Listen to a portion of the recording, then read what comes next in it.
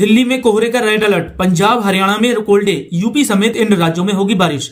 देश भर में इस वक्त सर्दी का सितम जारी है। सुबह सुबह कोहरे के चलते लोगों को परेशानियाँ बहुत ज़्यादा बढ़ गई हैं। मौसम विभाग के अनुसार, अगले दो दिनों में पंजाब, हरियाणा में कोल्ड डे की स्थिति होने की संभावना है। इसके अलावा, हिमाचल प्रदेश में इकतीस दिसंबर को बर्फबारी की संभावना जताई गई है।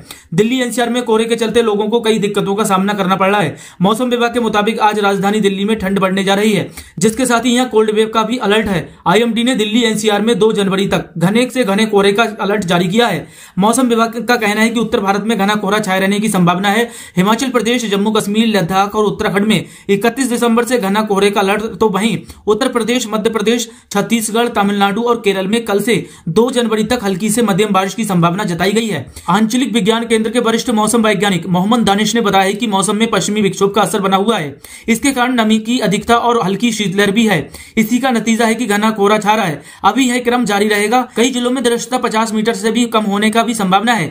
उन्होंने कहा है कि अगले दो दिनों में मध्य प्रदेश से सटे कुछ जिलों में हल्की बारिश के आसार बन रहे हैं। बरसात का असर कई जिलों पर पड़ेगा। दो जनवरी के बाद हल्की धूप निकलने की उम्मीद है। लखनऊ, बांदा, चित्रकूट, फतेहपुर, हरदोई, फरुखाबाद, कानपुर, उन्नाव, रायबरेली, बागपत, मेरठ, गाजियाबाद, हापुड़ गौतम बुद्ध नगर बुलंदशहर, अलीगढ़, मथुरा, हाथरस, कासगंज, एटा, आगरा, फिरोजाबाद, मैनपुरी, इटावा, औरैया, शाहजहांपुर, संभल, बदायूं, जालौन, हमीरपुर मोहब्बत झांसी, ललितपुर व आसपास के इलाकों में घना कोहरा छाए रहने की चेतावनी जारी की गई है। मध्य प्रदेश में इकतीस दिसंबर को कई हिस्सों में बारिश के साथ ओले गिरने का अनुमान है। मौसम विभाग के मुताबिक बारिश का यह सिलसिला दो जनवरी तक चलेगा और इससे प्रदेश में ठंड का कहर बढ़ने वाला है। असल में बारिश का ओले गिरने की वजह से पश्चिमी विक्षोभ का प्रभाव है, जिससे इकतीस दिसंबर से दो जनवरी तक उज्जैन, ग्वालियर और चंबल संभाग समेत प्रदेश के कई शहरों में बादल छाए रहने और बारिश होगी। यही नहीं, बंगाल की खाड़ी से निचले स्तर की पूर्वी हवाएँ मैदानी इलाकों का रुख कर रही हैं। इसकी वजह से देश के कई इलाकों में बारिश के आसार बन रहे हैं। मौसम विभाग ने मध्य प्रदेश और छत्तीसगढ़ में तीन दिन तक मौसम खराब रहने की संभावना जताई है। मौसम विभाग के मुताबिक पहली से तीन जनवरी के दौरान